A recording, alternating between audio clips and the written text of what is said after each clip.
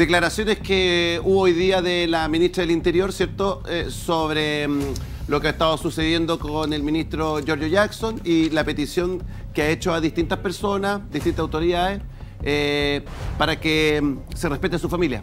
Toa acusa persecución contra la familia del ministro Jackson y asegura que se han cruzado varios límites. La ministra del Interior señaló que en política se pueden tener críticas, se pueden tener sentimientos complicados, pero no se puede ocupar eso como una excusa para transformar a una persona en un chivo expiatorio de todo. A ver, eh, me gustaría escuchar eh, Aldo, Mervi. A ver, yo creo que aquí está muy equivocada la ministra. Primero hay que decir que el chivo expiatorio es alguien que es inocente y que le lo acusan y lo culpan de algo de que él no tiene ninguna responsabilidad. O sea, ahí hay un punto. Aquí, ¿es el chivo expiatorio? O sea, no sabe nada, no tiene ninguna culpabilidad. Y por otra parte, más allá de las cosas que a mí me parece muy bien que se investigue, y tienes toda la razón, Pati, que es súper importante que eso sea así, si efectivamente él no quiere que, como digamos, que alguien entre con la familia, bueno, primero la familia está involucrada, está metida en el gobierno. Por lo tanto, cualquier persona, y no es que sea la familia, cualquier persona que esté en lo público, sabe que está frente al escrutinio público. Y hoy día se están investigando muchas cosas porque la verdad es que el río suena y trae cantidad de piedra y de pronto tú te encuentras con que se han asignado ciertos recursos y que resulta que la que es está a cargo de eso o que es parte de ese proyecto es la hermana. Lo mínimo, país, cualquiera es, bueno, investiguemos. Ahora, si no hay nada, que nada hace, nada teme, uno muestra las cosas. Pero aquí hay una cosa como que eh, de victimización eh, que es como intentar desviar la atención de lo que realmente está pasando. Aquí se destapó una olla y comenzó a salir una cantidad de material pus, pero es decir, está ebulliendo la infección. Y entonces para no ver la infección ponemos, no sé, pues aquí como que quieren tirarle una curita, así como unas cortinas de humo. Y por eso, ojo, incluso la acusación constitucional, que podía tener mérito en ciertas causas que las tenía, ojo, eh, porque ahí nos dijeron que no había ningún mérito, yo creo que en la Junaev había mérito y también respecto a la constitución actual vigente, les recuerdo que la constitución vigente es la que está, eh, también el derecho es preferente de los padres a educar, por lo tanto ahí también hay un punto. Ojo, ya, eh, ¿por, lo que estoy, ¿por qué estoy diciendo? Porque eso se desvió la atención con la cortina de uno que era un ataque a él. A ver, momento, si yo emito una opinión aquí que no corresponde, yo me hago responsable de mis palabras. Y si alguien reclama, yo no voy a decir que me están atacando porque soy mujer. Más rato lo de la acusación. ¿Vamos una denuncia pública? A ver.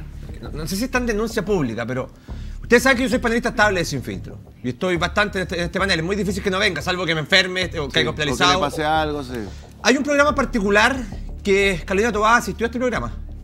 Sí. Y ella pidió que yo no viniera. ¿Cómo, cómo, cómo, cómo?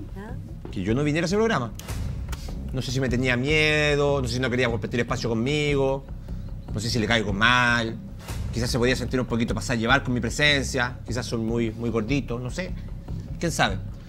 Pero Carolina Tobá en particular tiene algún problema con Sin Filtros, creo yo. Porque cuando estuvo acá en ese programa, que yo lo vi desde la casa, el encontrón de cómo ella pierde los estribos muy rápidamente con Catherine Martoler. A ver, Euge, eh, búscalo, ¿lo tienes, ¿lo tienes por ahí? Es, evidente que ella tiene algo con nosotros. Ya. A ver, veámoslo, Pancho, de la vuelta. Eh, ponga, lo que está hablando Pancho. Presidente de partido, donde me proponen reformas. ¿Por qué no? Porque, no, porque los presidentes de partido, los presidentes de partido firmaron un texto con todas que las no se este texto, Carolina. Firmaron un texto con las reformas que van a hacer de su puño y letra. La derecha no ha firmado ningún texto. Lo firmó, disculpa, escucha. Se calla y escucha. La derecha no, ha firmado así no, conmigo no, se calla y escucha no. Sí, si quiere conversar, me lo dice, conversamos tranquilamente. Pero aquí no me levanta ni la manito ni me dice se calla y escucha. Este fue el último programa ante el plebiscito, ¿no? Yo, me, acuerdo que en ese programa le preguntaron, alguien preguntó, ¿usted va a ser la próxima ministra del Interior? Y dijo, Todos sabemos que sí. No, dijo, pero no, sí. A ver, Pancho, sigue por favor. Sí, y, es la misma Toa que cuando es vicepresidenta manda esta carta a, amedrentadora, creo yo, a un presidente de un partido precisamente por el caso de Catherine Martorell. Yo creo que a ella no le gusta sin filtro. te soy bien sincero, creo que a ella no le gusta este programa, creo que no le gusta la línea editorial de este programa. Creo que no le gusta que digamos la verdad en este programa. Y yo siento, y, y me, y me hago cargo de eso, ya, muy personalmente, que ella está mintiendo. Ahí Creo está, que ella está ahí- mintiendo.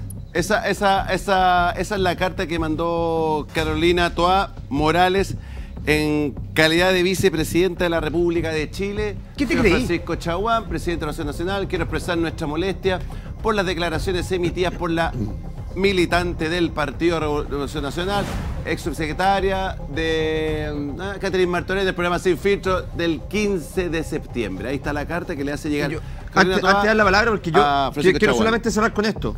Porque, porque estas actitudes a mí no me gustan. Estas actitudes amenazadoras, amenazantes no me gustan. Pero hay algo que yo creo que la ministra cae en un error político, que va más allá de la amenaza. Que en la entrevista a propósito del caso Giorgio Jackson, a ella le preguntan por la veracidad de la llamada a Gonzalo Faisto. Y lo ponen en entredicho. Y cito textual. Desconozco la llamada en cuestión. Ministra, la llamada existe. Yo vi el pantallazo, de hecho. Puedo dar fe de eso. No lo puedo mostrar en pantalla, lógicamente, porque hay que proteger los datos personales de George Jackson. Pero cuando una ministra de Estado pone en entredicho la declaración de un comunicador y se escuda en eso para no poder dar una opinión política y para defender corporativamente a un ministro que hizo matonaje, es la ministra del Interior, pues muchacho. De verdad, es la ministra del Interior. Vicepresidenta cuando el presidente está fuera del país. ¿Estamos, ¿Nos vamos a acostumbrar a eso como política normal en este país? ¿De verdad nos vamos a acostumbrar a este tipo de política? Yo creo que no. Estamos preparando la quinta acusación A ver, eh. constitucional del, del periodo, porque en, en este ¿Te parece periodo... chistoso, Gonzalo? No, no, no. Ah, qué bueno, digo- no es un programa humor, esto es un programa político, Gonzalo. Entonces, Sí, sí, sí, tomémonos sí, las pero, cosas en ver, serio. estamos- Y seamos serios, porque ustedes metieron 14 acusaciones constitucionales la vez Pancho, pasada. pero Pancho, ¿no? está hablando- ¿Puedo- está- puedo- está vamos- hablando- ¿Puedo terminar? Sin duda. En 15 Sin duda, meses, sin en duda. 15 meses, en 15 meses se han hecho cuatro acusaciones constitucionales por parte de la oposición a ministros de este gobierno. En los primeros 15 meses de Piñera, una. Una acusación constitucional. Así que no vengamos con la idea de que. ah, por eso estoy preguntando y lo pregunto irónicamente. Estamos preparando ahora la acusación, la quinta acusación constitucional, es decir, una segunda a Jackson o una a la ministra Toa. Risa Les da espontánea, podrían tanto poner, risa susto, espontánea. Les da tanto, tanto susto que la ministra del Interior tenga tanto respeto transversal en el país. ¿Eso? A ver, Respeto. eh, Valeria, Valeria. Sí, miren, eh, lo primero es eh, aclarar un punto muy específico. Creo que ya lo he dicho desde el principio que pasó todo, Revolución Democrática, todo, de verdad que se investigue absolutamente todo. Todas las fundaciones, incluso voy a decir, empezando desde la izquierda, porque pucha que da rabia cuando pasa en tus filas, ¿ya? Que empiece la investigación desde la izquierda hasta la derecha, absolutamente todos, ¿ya? Los gobiernos que sean, me da lo mismo. Y todos tenemos que estar a disposición de ayudar en esta investigación. Eso es uno.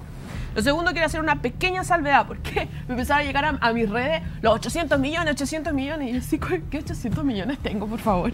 Eh, pero después, claro, investigué más, hicieron una aclaración de una investigación que se había dicho que se entregó 800 millones de pesos desde el GORE a la fundación presente, entiendo que está la hermana de Sí. Giorgio Jackson ahí, pero que en verdad sí ha- había sido una resolución exenta, la número 2370, que estableció un convenio con la, la Fundación San Carlos de, De Maipo, Maipo. no Y con la ellos Fundación. contratan a la otra. Eso es como quería Sí. hacer esa aclaración importante. Pero insisto, hay que investigar todo. Y lo otro, una información Eso de último acá. momento, último momento y que afecta directamente a la quinta región.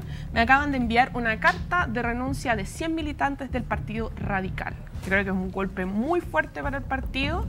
Eh, estamos Del viendo Partido Radical. Del Partido Radical. 100 no hay- no hay 100 militantes. O sea, se fueron todos. que- que- Sepúlveda, Pero- veámoslo, es veámoslo por ejemplo, que es una información que también quería dejar porque es muy nuevo lo que está pasando ahora. ¿Cuándo se pelearon? Eh, y que ¿Y de, y de, y de afecta RD, ahora ¿Y de RD se han ido? Ninguno. Ah, no se han ido. Ninguno. que no queda. Ninguno. No. A pesar de todos los 27.000 escándalos. tenemos, Más de 27 mil. A pesar de todos los escándalos. Somos un partido fuerte. Y somos un partido fuerte porque lo, lo he mencionado. ¿O están todos con pega? No, no, no. Un partido fuerte, 27 mil. Un partido fuerte porque, porque de igual manera, y, y- y hay que reconocerlo de, de cómo fue este proceso. Se expulsaron a militantes, se suspendieron militancias, se querellaron, están aportando a la investigación, se hizo todo. Pero lo importante es que, por eso digo de un principio, si acá tienen que desmascararse más antecedentes, más personas involucradas en fundaciones, sea de RD, convergencia, radicales, me da lo mismo. Háganlo, investiguenlo y hay que Aldo Duque, ya, a ver. Aldo, Aldo Duque, después voy contigo, Mervi. Aldo Duque, Mervi, da uno. Una pregunta. Eh, estuve viendo en las redes sociales, Patricia, quiero que usted me lo aclare, porque puede ser falso. Que usted tuvo un entrevero siendo subsecretaria, que usted tuvo, perdón, no era Seremi, siendo Seremi, escúcheme, siendo Seremi usted tuvo un entrevero por motivo de unas platas, en que usted le dijo a una funcionaria, yo no soy buzón de nadie, y que en ese contexto a usted le pedían, corríjame, porque no manejo toda la información, que disara o no dijera nada en razón de la entrega de determinadas cantidades de dinero y donde en estas operaciones estarían involucrados algunos militantes de Revolución Democrática. ¿Es efectivo aquello o es falso? ¿Respondo? Sí, por favor. Bueno, eh, sí, me lo preguntaban en una entrevista hace como unos días atrás respecto de cómo era, cuál era la opinión que yo tenía de cómo gestionaban el ministerio las personas del Frente Amplio que llegaron allá a hacerse cargo, si tenían las competencias del cargo, etcétera. Y yo en esto tengo que ser súper honesta. Ah. Y no tienen las competencias para el cargo porque no son expertos en temas psicosociales, así de simple, o sea, apartamos de eso.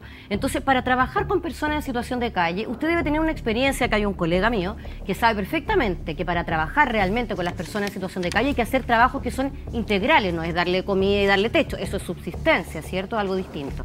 Entonces, cuando yo asumo el cargo, yo no estaba en Chile. Cuando vuelvo, que fue en abril, inmediatamente me piden que firme unos tratos directos con unas fundaciones que yo no conocía. Ah para ah, albergues, para personas en situación de calle. ¿Pero quién le pide?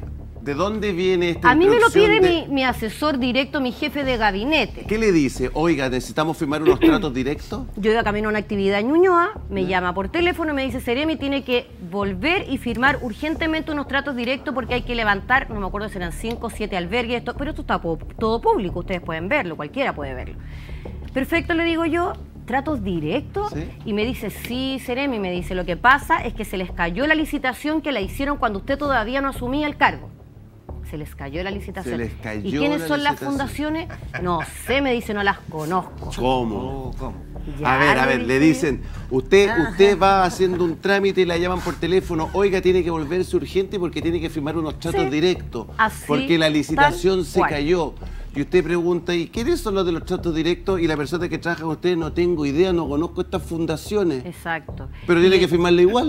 Y le quiero decir que como yo soy bien ¿De qué, bueno, qué monto estábamos hablando? Es que eran más de 200 millones en total, ah. porque eran varios, eran varios albergues. Claro. Entonces, que se ejecutan además durante el invierno. Entonces yo automáticamente, y la persona que era mi asesor que me conoce, que además era jefe de carrera de servicio social, antes de entrar al gobierno a trabajar conmigo, porque yo trabajé con gente impecable en términos de los conocimientos públicos para esto, entonces me dice, eh, Seremi me dice, yo no los conozco, yo creo que usted debiese mirarlos antes, pero por supuesto, dile que yo no voy a firmar, que por ningún motivo voy a firmar, y él le transmite. Y recibo el llamado. ¿De quién? Francisca Gallegos, militante de Revolución Democrática, jefa de división. Oh, Francisca Gallegos, sí. Revolución Democrática. Sí.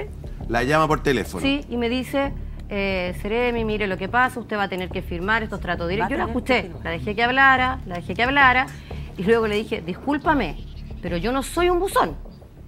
Yo no voy a firmar tratos directos que yo no sepa. Por qué, cuánto monto, con quiénes, por qué ellos y no otros, por qué en estas comunas, por qué durante ese tiempo hay términos de referencia, existen orientaciones técnicas, ¿qué hay? ¿Por qué voy a firmar tratos directos? ¿Hicieron licitación primero? ¿Hicieron licitación pública y después una privada antes del trato directo? ¿O lo hicieron al tiro? O sea, yo necesitaba entender cosas. Lógico. Y le dije, porque te voy a decir algo, disculpa, no nos conocemos, le dije yo, pero por mucho menos yo le negué tratos directos a un alcalde siendo concejala, porque me, dediqué a fiscalizar al alcalde, que es lo que deben hacer los concejales. Pero, pero, la pega. Y después, y, después de, y después de esa conversación, ¿qué te dice esta, cómo se llama esta niña de Revolución Democrática? Eh, Francisca Gallego. ¿Qué te dice? Me dice que ella, está de, ella está de subsecretaria subrogante porque la subsecretaria parece que está en el extranjero. Eh, entonces me dice, mire, eh, venga si quiere en el ministerio, yo le puedo mostrar todos los antecedentes porque esto se tiene que hacer así, pero hay que hacerlo rápido porque la ministra nos está pidiendo que tengamos albergue. Y es obvio también que había que hacerlo rápido. Y ahí, ¿cuál fue mi respuesta? ¿Y por qué lo están haciendo recién ahora? ¿Por qué están haciéndolo ahora? O sea, el invierno está a un mes y ustedes están licitando en abril, en marzo. Lo mismo en salud. Quizás, y aquí sí hay que hacer un punto, quizás lo debieron dejar tramitado el gobierno anterior también. O sea, la seremia anterior, que era de Piñera, sabía perfectamente que venía el invierno. Entonces, ¿cómo dejó esto para autoridades nuevas? que eran ultra nuevas, porque nunca habían trabajado la mayoría de ellos en gobierno, entonces les dejáis a cargo un tremendo... Si hubiese querido hacerle un favor, igual les dejáis listo el tema, no sé si me explico también, a eso hablo del trabajar bien, ¿no? Y tú dices, ¿qué ministra, qué ministra pedía esto? ¿Quién pedía esto? La ministra Janet Vega pues pedía que, que, los albergues ya estén funcionando porque iban a venir los días helados mm. y la gente tiene que tener un lugar donde poder resguardarse del frío. Entonces eh, yo le dije, ok, pero yo voy a hablar con el fiscal. O sea, yo me resguardé porque yo tengo conocimientos de lo riguroso que uno debe ser al firmar tratos directos con platas que son públicas. Pero hay gente que no sabe, entonces por eso le digo, como se instaló esta forma de hacer las cosas a la rápida y fácil en el Estado, no como la generación que yo vengo, que era todo más ese Estado que es lento, que es como un elefante blanco. pero eficiente. Claro, entonces ahora la cosa era hacerla rápido. ¿Cómo es rápido? Con fundaciones. Porque saco rápido la plata. Mire, a la fundación, ¿saben lo que le piden? una boleta de garantía, que ellos van, la gestionan en el banco y con eso se le transfieren los recursos. Si yo hago convenios con los municipios, va al consejo municipal, vuelve, los concejales tienen que votar, si los concejales no quieren se lo rechazan al alcalde, el alcalde no puede hacer el convenio con desarrollo social si todos sus concejales no se lo aprueban. Después tiene que hacer una resolución que va, que viene, o sea, ¿es lento? Claro que es lento. Pero ¿dónde quedan las competencias instaladas? En el municipio, en el gobierno local. ¿Dónde quedan las platas públicas? en un lugar público. Entonces yo llegué a discutir y a pelear ese espacio y fue para mí impresionante, impresionante darme cuenta que los municipios no trabajaban con desarrollo social en los últimos años, eran todas fundaciones, súper desconocidas además, porque si usted me dice que el albergue era de Cáritas, que era del Hogar de Cristo, que era de la fundación, de las congregaciones que conocemos, uno dice, ya, perfecto. Pero cuando las fundaciones tienen nombres raros, creadas como primero consultoras, después no sé qué, no sabes quiénes son, uno tiene sus dudas. Y no eran menos de 200 millones, tengo entendido. Es que todos son distintos. Usted tiene que pensar que hay tratos que son por 33 días cuando hay emergencia, otros que son por cuatro meses, otros que son por un año. Entonces, el per cápita siempre es el mismo. Ya. No me acuerdo cuánto asciende hoy. Pero en esa oportunidad eran más de 200 millones porque eran más de cinco albergues. Probablemente para cada albergue eran 90 millones por tres meses, por decirle algo. son los del plan invierno. Pero podría ser más. Si son por un año, son por más eh, tiempo. Diputado Carter. Sorprendente lo que está diciendo Patricia, porque finalmente una de las cosas que nosotros hemos conversado en el Congreso de que esto es... Eh, criticaron todo. Mal Piñera, mal la salud, mal todo. Nosotros lo vamos a hacer mejor. El presidente lo dijo en una entrevista. Me acuerdo mm, cuando era candidato presidencial. Nosotros lo vamos a hacer mejor. Sí, lo hicieron mejor. Se prepararon precisamente para entrar y pegarle el manotazo al Estado. La misma Patricia ha dicho, personas sin experiencia. Lo de Andrade, justamente el Ministerio de Defensa, ¿qué hacía él? Construía, construía eh, eh, redes para agua, pero al mismo tiempo eh, estaba en la subsecretaría de, para las Fuerzas Armadas. Es como de defensa. Es extraño. Y lo que está pasando es que el gobierno, con las declaraciones de la ministra Toa, y aquí lo anoté, todas las críticas que ha hecho el gobierno han mutado en lo siguiente. Si critica a Lisa Loncón, eres racista. Si critica el mal trabajo de Ávila, de Ávila, eres homofóbico. Si criticas a la diputada Hertz, eres negacionista. Si criticas a Boric o al gobierno, eres un facho pobre. Y ahora, si criticas a Jackson, es persecución. Como si Jackson nada supiese. Jackson entregaba fórmulas preparadas, listas cuando era parlamentario, no hace 10 años, hace dos años atrás. Y hoy el ministro Jackson no sabe nada. Es como, no sé, yo venía pasando y había un cartel que decía, ministro, oh, yo quiero, por favor. Entonces, ¿Hasta cuándo nos vamos a tomar la responsabilidad? ¿Cuándo el Frente Amplio, el, Revolución Democrática, no solo va a decir caiga quien caiga, porque no sé qué y no sé cuánto, porque las S y no sé qué no se entiende nada? De verdad, pídanle al ministro Jackson, como él era bueno para pedirle explicaciones a tanto a la gente de derecha como a los mismos, ojalá RD sea capaz de decirle a su creador intelectual, explícanos qué estás haciendo, porque estás hundiendo el gobierno, no te estás, no te estás hundiendo tú, estás hundiendo al gobierno. Explícanos qué estás haciendo, porque no eh, se entiende. Eh, me gustaría que... mm, Me gustaría que le contestara a Valeria Cárcamo y agradezco que esté Valeria con nosotros, que es de Revolución Democrática, el partido que por estos días está en el ojo del huracán y es muy valiente ella, siempre viene a dar la cara al programa, así que voy a las menciones y Valeria Cárcamo responde.